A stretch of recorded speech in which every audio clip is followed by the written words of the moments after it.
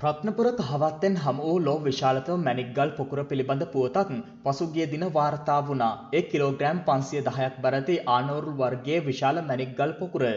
එය මාධ්‍ය මගින් ප්‍රචාරණය වීමත් සමග එහි වටිනාකම සම්බන්ධයෙන් මැණික් ක්ෂේත්‍රයේ විශේෂඥයින් විවිධ අදහස් පළ කරනු ලැබුවා. ඒ අතර ඇතමුන් සඳහන් කළේ එය එතරම් වටිනාකමක් නොමැති බව. මෙවන් පසුබිමක් තුළ මෙම මැණික් පොකුර අද කටුනායක ගුවන් තොටුපළ වෙත රැගෙන විත් තිබුණා. එය ඩුබායි වෙත රැගෙන යාම සඳහා ඩුබායි රාජ්‍යයේ පැවැත්වෙන මැණික් ප්‍රදර්ශනයක් සඳහා මෙම මැණික් පොකුර ඉදිරිපත් කිරීමට නියමිත බවයි වාර්තා වුණේ.